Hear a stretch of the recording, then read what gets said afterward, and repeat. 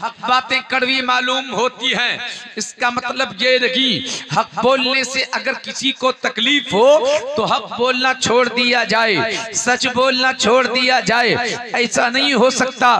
कायनात में एक यही एक जमात ऐसी है, ओलमाए किराम की जमात जो आज भी सच बोल रही है। बाकी तो सब धोखा देने को तैयार हैं, फरेब देने को तैयार हैं। आपको खाई में पहुँचाने के लिए तैयार हैं, तबाही की तरफ़ पहुँचाने के लिए तैयार हैं। सलाम करो उन किराम की जमात को, जो आज भी आपकी राहनुमाई के लिए डटे हुए हैं।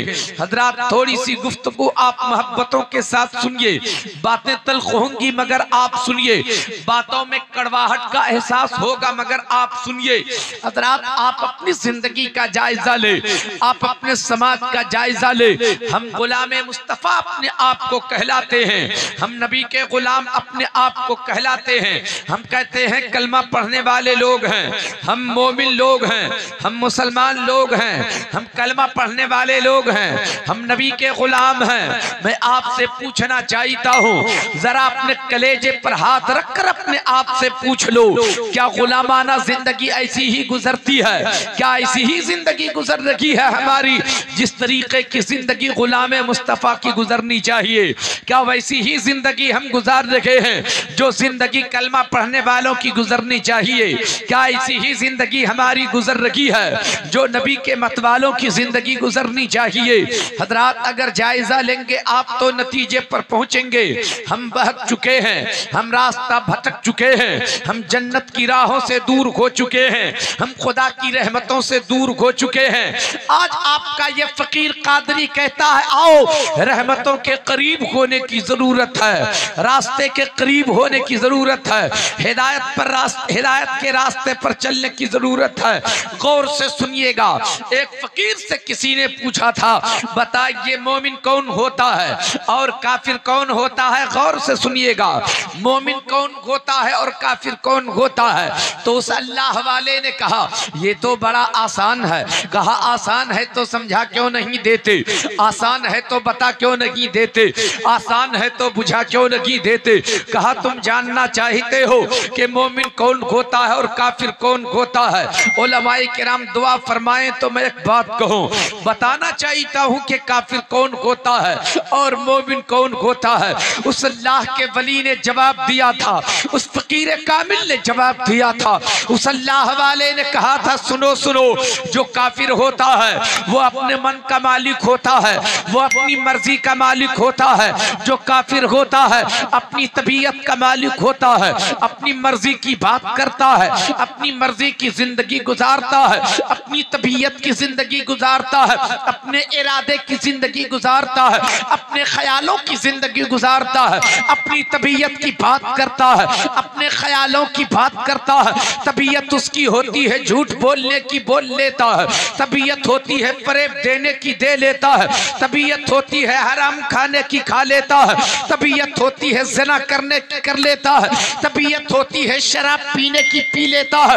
जो काफिर होता है, वो अपनी मर्ज़ी का मालिक होता है, वो अपने मन का मालिक होता है, वो अपनी तबीयत का मालिक होता है। जो अपने, जो काफिर होता है, वो अपनी मर्ज़ी की ज़िंदगी गुजारता है, और जो मोमिन होता है, अपनी मर्ज़ी की ज़िंदगी नहीं गुजारता, बल्कि अपनी ज़िंदगी का एक खुदा की मर्ज़ी पे गुजार देता है। खुदा की मर्ज़ी पे छोड़ देता है। नाराए तकबीर नाराए रिसालत मसल के आला हज़रत हज़रत अल्लामा जुनेद जमाली साहब किबला फैजान औलिया कॉन्फ्रेंस वाह जो मोमिन होता है अपनी ज़िंदगी का एक एक लम्हा खुदा की मर्ज़ी पे छोड़ देता है। अब मैं आपसे एक बात कहना चाहूँ तवज्जो है आपकी? कितने लोग सुनेंगे? हाथ उठाकर जरा सा बताएँ मुझको। अच्छा मेरी बात समझ में आ रही है आप लोगों को। कितने लोगों को बात समझ में आ रही है? एक बार और हाथ उठाकर बताइए। सुबहान अल्लाह सुबहान अल्लाह हजरात, मैं कोई समझौता करने आपसे नहीं जा रहा हूँ। मैं झूठी तारीफ़ करके आपकी नहीं जाऊँगा। आजकल तो लोग बात बात पर जन्नत की टिकट बांट रहे हैं। एक बार सुबहान अल्लाह कह दो जन्नती हो जाओगे। दस रुपये पेश कर दो, जन्नती हो जाओगे। माँ का तलवा चूम लो, जन्नती हो जाओगे। हज़रत गिरामी, ये तो बात कहने की है, मगर बहुत बड़ी बात है। इसके पीछे बहुत उनवान है। इसके पीछे बहुत बड़ा राज है। मैं बात बात पर जन्नत का टिकट देने नहीं जा रहा हूँ। झूठी तारीफ़ करके जाने वाला नहीं हूँ। अगर इतनी आसानी के साथ जन्नत मिल गई होती तो फिर जिहाद में गर्दन कटाने की ज़रूरत नहीं होती। अगर इतनी आसानी के साथ जन्नत मिल जाती है तो फिर शब्बेदार होने की ज़रूरत नहीं है। अगर इतनी आसानी के साथ जन्नत मिल गई होती तो तहज्जुद गुजारी की ज़रूरत नहीं पड़ती। अगर इतनी आसानी से जन्नत मिल गई होती तो सजदे की फिर ज़रूरत नहीं होती। नहीं नहीं, प्यारे मुसलमानों, मेहनतें करनी पड़ेंगी तब जन्नत जाओगे। कोशिशें करनी पड़ेगी तब जन्नत जाओगे। आपको सजदा करना होगा तब जन्नत जाओगे। नमाजी बनोगे तब जन्नत जाओगे। नबी के सच्चे गुलाम बनोगे तब जन्नत जाओगे। और जो नबी का गुलाम होता है, सिर्फ़ सच्ची बात कहना चाहता हूँ। जो नबी का गुलाम होता है, मुस्तफ़ा के एक एक फरमान पे वो अमल करता है। नबी की एक एक सुन्नत पे वो अमल किया करता है। मैं अर्ज़ कर रहा था कि जो मोमिन होता है, अपनी ज़िंदगी का एक एक लम्हा खुदा की मर्ज़ी पे छोड़ देता है। गौर से मेरी बातों को सुनिएगा। ज़िंदगी का एक एक लम्हा खुदा की मर्ज़ी पे छोड़ देता है। मुझे बताओ ईमानदारी के साथ, क्या तुम अपने खुदा की रब की मर्ज़ी की ज़िंदगी गुजार रहे हो? क्या तुम अपने रब की मर्ज़ी की ज़िंदगी गुजार रहे हो? अपनी ज़िंदगी का मुहासबा करो, अपनी ज़िंदगी का जायजा लो। मेरी बातों को सुनना पड़ेगा। सच बोल रहा हूँ मत भागना प्यारे मुसलमानों। अभी मैं आपको रास्ते पे लाना चाहता हूँ। अगर मेरी बातें थोड़ी सी सुन के चले जाओगे तो बहुत अफसोस करोगे कि बात पूरी समझ में नहीं आई। मौलवी ने तो बीच में छोड़ दिया। मैं बीच में आपको लटकाना नहीं चाहता। मैं आपको मंजिल के करीब लाना चाहता हूँ। अपनी मर्ज़ी की ज़िंदगी आप भी जी रहे हो। गोया फकीर कामिल का ये कहना कि काफिर जो होता है, वो अपने मन का काम करता है, अपने मन की ज़िंदगी गुजारता है, अपनी मर्ज़ी का मालिक होता है, आज मोमिन होने के बाद भी अपनी मर्ज़ी की बात करता है, अपनी मर्ज़ी की ज़िंदगी गुजारता है, अपनी तबीयत की बात करता है, अपनी तबीयत की ज़िंदगी गुजारता है। मैं आपसे कहना चाहता हूँ, अगर रब की मर्ज़ी की ज़िंदगी गुजार रहे होते, सजदा आपसे नहीं छोड़ता रब की मर्ज़ी की ज़िंदगी गुजार रहे होते, आपके घर में तिलावत बंद नहीं होती। रब की मर्ज़ी की ज़िंदगी गुजार रहे होते, हम झूठ तो नहीं बोलते।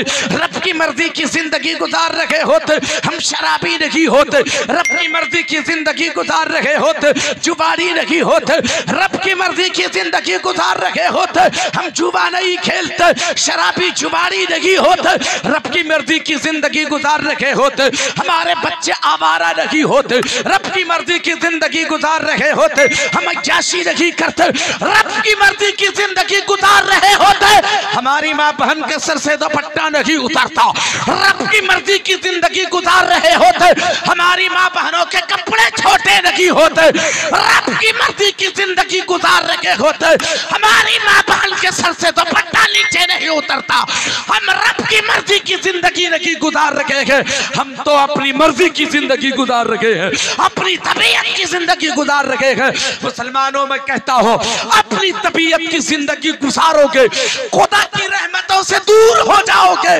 रब की मर्ज़ी की ज़िंदगी गुजारोगे तो जन्नत के ठिकाने लग जाओ। वाह वाह वाह। नारे तकबीर नारे रिसालत मसल के आला हजरा फैजान औलिया कॉन्फ्रेंस वाह।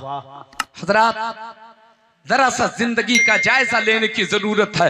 अब मैं असल गुफ्तगु कर लेता हूँ तेज़ी के साथ। मैंने पहले बताया था, बातें तलख होंगी, बातों में कड़वाहट होगी। इसलिए कि सच बोलूँगा, गौर से सुनिएगा। आप सुनिए, पूरी बात मेरी सुनिए। तब आपको बात समझ में आएगी कि ये मौलवी हमें बताना क्या चाहता है। तवज्जो अगर आपकी हो तो मैं अपनी बात की शुरुआत अब करता हूँ। ये तो थोड़ी सी तमहीदी गुफ्तगु थी जो आपके सामने मैंने रखा। कितने लोग सुनना चाहते हैं एक बार हाथ उठाकर जरा मुझको बताएँ। सुबहान अल्लाह सुबहान अल्लाह सारे के सारे लोग सुनना चाहते हैं। अब जरा तल्ख बातें सुनिए।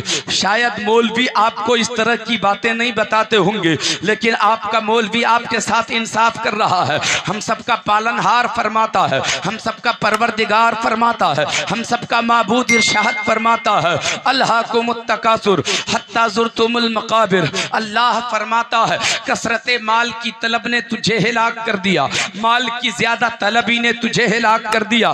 माल के ज़्यादा चक्कर में तुझे हिलाक कर दिया। ज़्यादा माल के चक्कर ने तुझे हिलाक कर दिया। इंसान माल की तलब में दौड़ रहा है।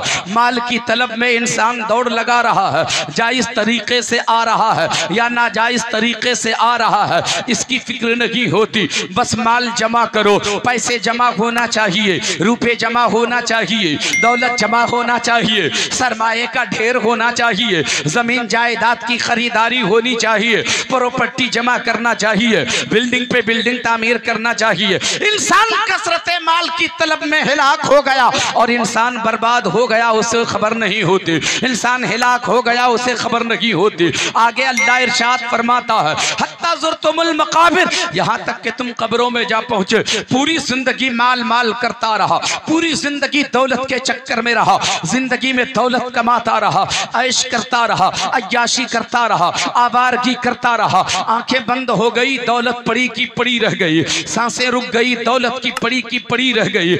आपने सोचा था, चलो माल जमा किया है, मेरे बच्चों के काम आएँगे, ये दौलत बच्चों के काम आएगी, ये सरमाया बच्चों के काम आएँगे, मगर इत्तेफाक से आपके बच्चे भी उसी राह पे चल पड़े हैं, वो भी दौलत जमा करने के चक्कर में रहा। जो आपने जमा करके दिया था, उसे भी इस्तेमाल किया। खुद भी वो दौलत के चक्कर में पड़ा रहा। कुछ सालों तक वो भी दौलत कमाता रहा, पैसे जमा करता रहा। उसकी भी आँखें बंद हो गई, दौलत पड़ी की पड़ी रह गई। माल पड़ा का पड़ा रह गया। वो दौलत काम लगी आई, तुम कब्रों तक जा पहुँचे। तुम हिलाकत की तरफ़ चले गए, तुम तबाही की तरफ़ चले गए, तुम बर्बादी की तरफ़ चले गए। कसरत माल की तलब ने तुझे हिलाक कर दिया। माल की ज़्यादा तलब ने तुझे हिलाक कर दिया। जमा करने के चक्कर में पूरी ज़िंदगी रहे। लगाने के चक्कर में पूरी ज़िंदगी रहे। अल्लाह फरमाता है, तू हिलाक हो गया। तू बर्बाद हो गया, तू तबाह हो गया। सवाल पैदा होता है, मौलवी जल्दी बताओ, क्या हम माल जमा ना करें? क्या हम पैसे जमा ना करें? क्या हम कमाने ना निकले? क्या हम दौलत जमा ना करें? आपका मौलवी आपको जवाब देगा, मेरे दोस्तों और बुज़ुर्गों दौलत ज़रूर कमाओ पैसे ज़रूर कमाओ सरमाया ज़रूर जमा करो। तुम कमाओगे नहीं दौलत जमा नहीं करोगे बच्चों की कफालत कैसे करोगे? दौलत जमा नहीं करोगे बीवी की कफालत कैसे होगी? बच्चे पस, पै, अगर तुम पैसे जमा नहीं करोगे तो बच्चों को तालीम और तरबियत का इंतज़ाम कहाँ से करोगे? अगर दौलत नहीं कमाओगे तो मस्जिद की तामीर कहाँ से होगी? दौलत नहीं कमाओगे तो मदरसे की तामीर कैसे होगी? दौलत नहीं कमाओगे तो मदरसे में रहने वाले बच्चों की कफालत कैसे होगी? तुम दौलत नहीं कमाओगे। गरीबों का सहारा कौन बनेगा? लाचारों, मजबूरों का सहारा कौन बनेगा? बेवाहों का सहारा कौन बनेगा?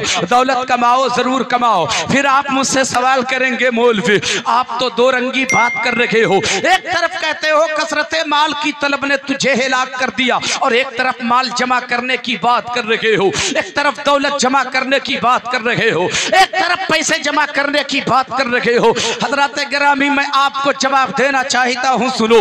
परवरदिगार आलम उन दौलत वालों की बात कर रहा है, जिस दौलत से मोहब्बत इंसान करता है, खुदा से मोहब्बत नहीं करता। इंसान दौलत से मोहब्बत करता है, रसूल से मोहब्बत नहीं करता। हजरात, मैं कहता हूँ, ऐसी दौलत को ठोकर मार दो, जो तुझे जहन्नम की राह पे लगा दे। और ऐसी दौलत को कलेजे लगा लो, जो दौलत तुझे खुदा की रजा हासिल करा दे। जो दौलत तुझे जन्नत की राह पे लगा दे, ऐसी दौलत जमा करने की ज़रूरत है। ऐसी दौलत कमाने की ज़रूरत है। ऐसे रुपए कमाने की ज़रूरत है। तुम रुपए नहीं कमाओगे। खुदा की रजा हासिल कैसे होगी?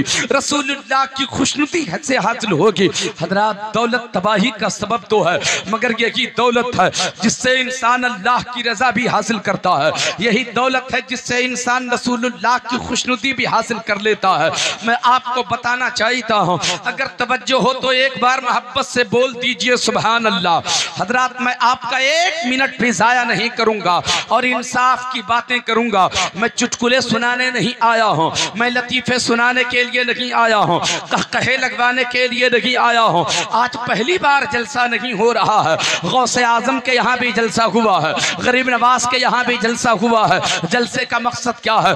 जलसे का मकसद इंजॉय नहीं है। जलसे का मकसद आवारगी नहीं है। जलसे का मकसद घूम कर मस्ती लुटाना नहीं है। जलसे का मकसद ये होता है कि बच्चों को बच्चों को जलसे का मकसद ये होता है कि झूठों को सच्चा बनाया जाए, गुनहगारों को नेकोकार बनाया जाए, जो रास्ता भटक गया हो उसे रास्ता दिखाया जाए, जो दीन से दूर हो गया हो, उसे दीन के करीब किया जाए। जो खुदा की रहमतों से दूर हो गया हो, उसे करीब किया जाए। जलसे का ये मकसद होता है, अगर इस महफिल में भी लतीफ़े सुनाए जाएँ, ऐसी महफिल में भी चुटकुले सुनाए जाएँ तो फिर जलसे का मकसद फौत हो जाता है। मोहब्बत से मेरी बातों को सुनना, प्यारे मुसलमानों, आप जरा सा अपने समाज का जायजा लीजिए। मैं एक सच्चाई आपके सामने रखता हूँ, अपने माशरे का जायजा लीजिए। आपको अगर लगे कि मौलवी सच बोल रहा है तो मेरी बातों पे अमल करना। हजरात, जरा सा देखिए आप, आज दौलत बढ़ती है, इंसान गुनाहों का आदि हो जाता है। दौलत बढ़ती है, खताओं का आदि हो जाता है। दौलत और बढ़ती है, आदमी गुनाहों की तरफ़ जाने लगता है। दौलत और बढ़ती है, आदमी नमाज़ छोड़ना शुरू कर देता है। दौलत बढ़ती है तो आदमी पाबंद नमाज़ था वो नमाज़ छूट रही है। दौलत बढ़ती है, आदमी शराबी हो जाता है। दौलत बढ़ती है, आदमी जुआरी हो जाता है। दौलत बढ़ती है, आदमी फाहिशा के अड्डे पे जाने का आदि हो जाता है। दौलत बढ़ती है, आदमी आवारा हो जाता है। दौलत बढ़ती है, आदमी गुनाहों की तरफ़ जाने लगता है। दौलत बढ़ती है। आदमी के अंदर अयाशी आ जाती है। आदमी के अंदर आवारगी आ जाती है। दौलत और बढ़ती है। आदमी के अंदर गुरूर पैदा होता है। आदमी मकरूर हो जाता है। जब दौलत बढ़ती है, इंसान का खुलूस चला जाता है। दौलत बढ़ती है, आदमी का अखलाक खत्म हो जाता है। दौलत बढ़ती है, आदमी मकरूर हो जाता है, घमंडी हो जाता है। दौलत बढ़ती है। हमारी माँ बहन के पास अगर थोड़े से पैसे जमा हो गए, कपड़े छोटे होने लगते हैं, दो पट्टे सर से उतरने लगते हैं। दौलत बढ़ती है तो जुल्फे लहरा के मेलों में घूमना शुरू कर देती हैं। दौलत बढ़ती है तो अपना हुस्न दिखाना शुरू कर देती हैं। दौलत बढ़ती है तो बन समर के गैर मर्दों के सामने आ जाया करती हैं। ये दौलत का नशा है। इंसान दौलत को तबाह करके रख दिया है। मैं आपसे कहता हूँ, दौलत कमाओ, ज़रूर कमाओ, मगर दौलत को तबाही का ज़रिया मत बनाओ। दौलत को अल्लाह की रजा का ज़रिया बनाओ। दौलत को रसूलुल्लाह की खुशनुदी का ज़रिया बनाओ। दौलत इंसान को तबाह भी कर देती है। दौलत इंसान को खुदा की रहमतों के करीब भी कर देती है। बोलो, सच बोल रहा हूँ कि नहीं? सच बोल रहा हूँ? कितने लोग तायद कर रहे हैं? हाथ उठाकर जरा बताएँ। दौलत कमाओ, ज़रूर कमाओ। मगर प्यारे मुसलमानों से संभाल कर रखने की ज़रूरत है। हम दौलत तो कमाते हैं, मगर आवारगी आ जाती है। दौलत कमाते हैं, मगर अयाशी आ जाती है। दौलत कमाते हैं, सजदे छूटने लगते हैं। दौलत कमाते हैं, मगर खुलूस ख़त्म हो जाता है। कम ही ऐसे लोग मिलते होंगे आपको, जो दौलतमंद भी हो और मुखलिस भी हो। दौलतमंद भी हो और अखलास भी उसके पास हो। दौलतमंद भी हो और मुस्कुरा के मिला भी करता हो। दौलतमंद भी हो और गरीबों को कलेजे से लगाता भी हो। बहुत कम लोग ऐसे मिलते होंगे, वरना दौलत बढ़ती है तो भूल जाता है कि कोई गरीब भी हमारा सहारा कभी बनाता। दौलत बढ़ती है तो इंसान ये भूल जाता है कि हमें मरना है। और जब मरेंगे, हमारी कब्र कोई अमीर खोदने नहीं आएगा। हमारी कब्र भी तैयार करने गरीब ही आगे बढ़ेगा। मेरे दोस्तों और बुज़ुर्गों, दौलत का नशा बहुत बुरा होता है। दौलत कमाओ तो मुखलिस बन के रहो। दौलत कमाओ तो अखलाकमंद बन के रहो। दौलत कमाओ तो अल्लाह की रजा हासिल करो। अब जो बात मैं कहना चाहता हूँ, गौर से सुनना, प्यारे मुसलमानों, दौलत कमाओ मगर अल्लाह की रजा का सबब उसे बनाओ। दौलत कमाओ, रसूलुल्लाह की खुशनुदी हासिल करो। और जो इंसान दौलत को रसूलुल्लाह की खुशनुदी का सबब बनाता है, रसूलुल्लाह की उन्हें दुआएँ मिलती हैं। रसूल उन्हें दुआएँ दिया करते हैं। मेरे आका उन्हें दुआएँ दिया करते हैं। रसूल कैसे खुश होंगे? रसूल कैसे खुश होंगे? आका कैसे खुश होंगे? आपकी दौलत से पता है। आपको एक बात मैं बताऊँ, याद रखना प्यारे मुसलमानों, आपके घर मेहमान लोग आते हैं कि नहीं आते हैं? आते हैं। अच्छा मेहमान आता है तो रोते हो के मुस्कुराते हो? जी मुस्कुराते हैं, क्यों? इसलिए कि वो रहमत लेके आ रहा है, वो बरकतें लेके आ रहा है। आपके घर मेहमान आए तो आप हज़ार रुपए मेहमान के पीछे खर्च करते हो। लाओ, जल्दी से चिकन लाओ लाओ, जल्दी से मटन लाओ। आज पुलाव बनाना जी मेहमान आया है, आज बिरयानी बनाना जी मेहमान आया है, आज कुरमा बनाना जी मेहमान आया है। अपने मेहमानों के पीछे हज़ार रुपए खर्च करते हो, और अगर आपकी बीवी ने अच्छा खाना आपके मेहमान के लिए बना दिया तो शौहर बीवी से खुश हो जाता है। मेरी बीवी ने क्या जियाफत की है मेरे मेहमानों की? क्या उन्होंने दस्तरखान सजाया है मेरे मेहमानों के लिए? राज़ी हो गया शौहर। मेरे दोस्त और बुज़ुर्गों, मुझे बताना। हज़ार, दो हज़ार रुपए खर्च करते हो आप अपने मेहमानों के लिए, मगर फिर भी आपका कलेजा कलेजा आपका बोझल नहीं होता। आपका दिल दिमाग बोझल नहीं होता, बल्कि आप खुश होते हो। पैसे भी खर्च करते हो और मुस्कुराते भी रहते हो। क्यों? क्यों इस तरह की बात करते हो? प्यारे मुसलमानों, आपका मेहमान इतना मोहतरम तो नहीं है। आपका मेहमान इतना मोहतरम तो नहीं है। आपका मेहमान गुनहगार भी हो सकता है। आपका मेहमान खताकार भी हो सकता है। आपका मेहमान बदकार भी हो सकता है। आपका मेहमान शराबी भी हो सकता है। आपका मेहमान जुआरी भी हो सकता है। मैं कहता हूँ, प्यारे मुसलमानों, अपनी दौलत से अपने नबी को कैसे राज़ी करोगे? तुम अपने मेहमानों के पीछे हज़ार दो हज़ार खर्च करते हो, तेरा मेहमान मोहतरम नहीं है। तू अपने नबी के मेहमान की खातिर करो, उसके पीछे खर्च करो। तेरा नबी राज़ी हो जाएगा, तेरा रसूल राज़ी हो जाएगा। दौलत को नबी की रजा का सबब बनाने की ज़रूरत है। मेरे दोस्तों, और जब तेरा रसूल तेरी दौलत से राज़ी होगा, तेरे रसूल की तुझे दुआएँ मिलेंगी, तेरे आका की तुझे दुआएँ मिलेंगी, और जिसे नबी की दुआ मिलती है, वो बड़ा बड़ा खुश नसीब होता है। अपने नसीबे पर वो नाज करता है।